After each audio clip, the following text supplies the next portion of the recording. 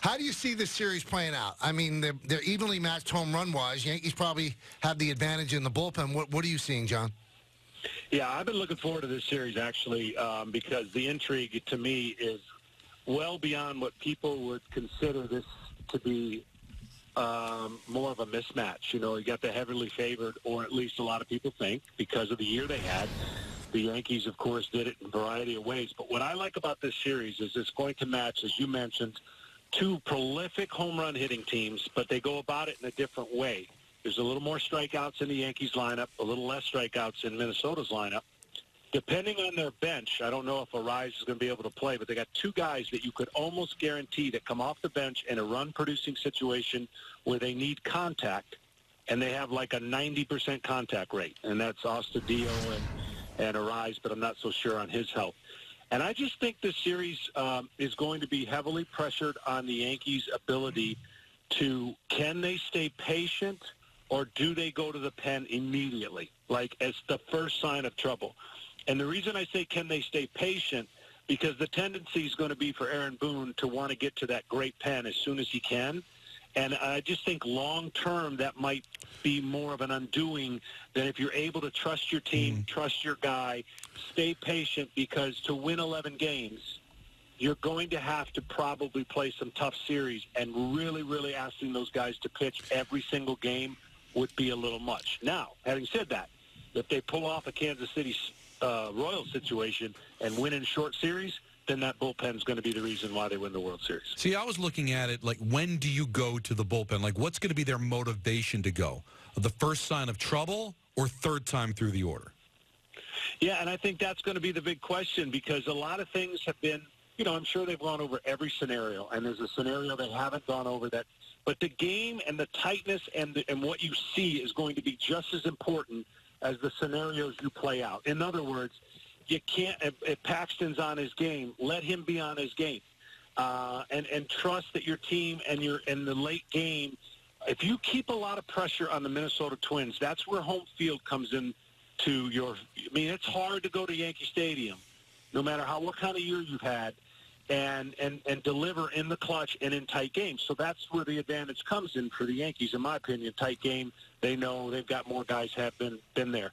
But the the Minnesota Twins are, are, are their ability to pitch in the pen is a little underrated because they've done a really good job without some household names. So uh, I just felt like the year that the Yankees had, there's nobody that has more pressure on them than Aaron Boone because of what's looming in the pen.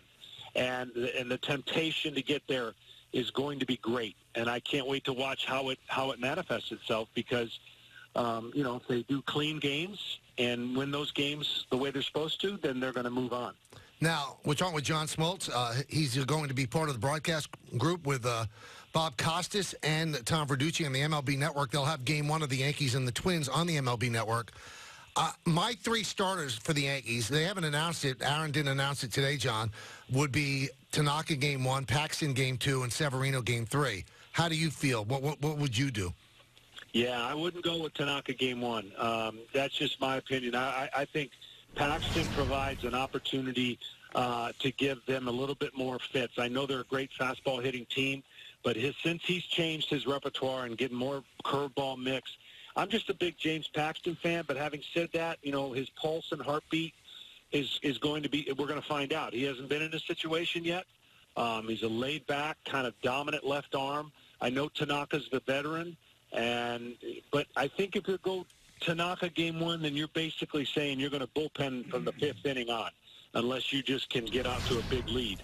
Um, he, he's more of a contact type pitcher, uh, and and I, I just for me, I, I want the guy at the top of the rotation that can limit the amount of that you know balls in play and and and give you the, the biggest opportunity.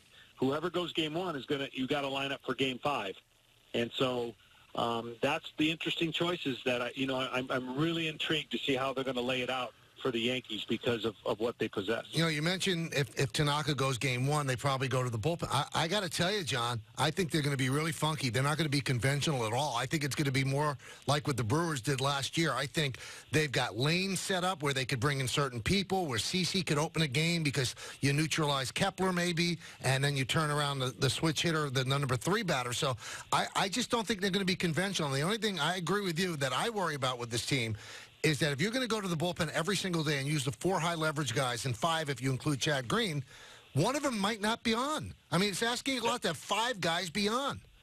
That's my point. That's why I said the patience in this series is actually going to be crucial, in my opinion. The patience might be two outs. It might Right. be waiting two more outs. I'm not talking about getting a starter through seven.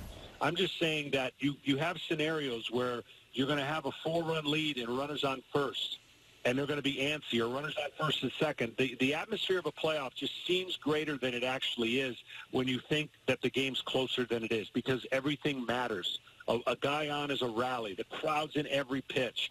And, and you saw it last night. You know, we saw the stretching guys out, trying to get, although be at one game, it's just hard every single time they expect every guy to be on their game. It is very difficult. Not saying that it can't be done, but a cleaner version of a Yankees win would look something like a six-inning start and then three of those guys. And, you know, but using four every single game is going to be one of those things where uh, it'll be a challenge. That's that's typically why when people talk about this year's postseason, you lean a little harder towards, or you might push the edge to a team that has your prolifical starters like Houston, where you don't have to eat that many more innings out of the pen. So uh, I think the American League has got showdown, great series. I think it's going to be a blast. And uh, I do think you, you're right. I think you're going to see a lot of relief pitchers, going to see a lot of strategy, and it may come down to the team in this series that actually puts the ball in play a little bit more than the other one. You mentioned Paxton's never been here before. How does that manifest itself? What does he have to go through that kind of an atmosphere when he's never done it before? Well, you know what's interesting, and I used to always love to ask my teammates questions over the year, get to know them uh, uh, on, on situations like this. Is their heartbeat slow, and does it stay slow? You know, or does it speed up? Do they speed the game up? Because really, what you need is a slow heartbeat, and so a laid-back kind of attitude might work if you don't get too amped up. I've seen guys so amped up that I looked at know, my next teammate and go, "We're in trouble." This guy's ready to play a football game. You can't play a football game as a pitcher on the mound. You cannot be that intense. Now, having said that, once you learn the certain guys that they get to those points where, let's face it, Mariano Rivera had no heartbeat. That's why he was so awesome. And it, nothing bothered him. Everything slowed down.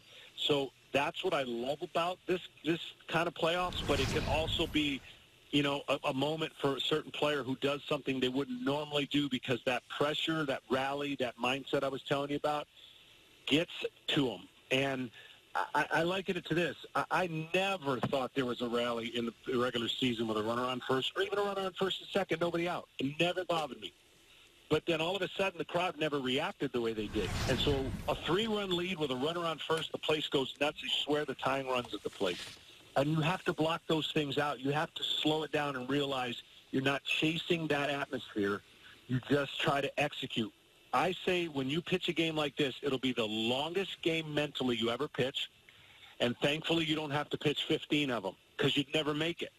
So that's the kind of atmosphere that I think Yankee Stadium will provide to put the pressure on the New, uh, Minnesota Twins. They're not a young team like everyone thinks. They got a nice blend. And so uh, it, it's always fun for me to watch guys see what this environment does to them. Now, John, I, I think you know this. Aaron Boone is one of the nicest human beings you'll ever meet. But if you want him to get snippy, just talk to him about, gee, can you win with a home run team in the playoffs? He, he, he thinks that it's imperative to be a home run team in the playoffs. Uh, and there's, there's statistics to prove it that a greater percentage of runs scored in the postseason are via home runs rather than the regular season. But my comeback is always you're facing the best pitchers in the postseason, and great pitchers make good pitches, and they don't give up home runs. What's your thought?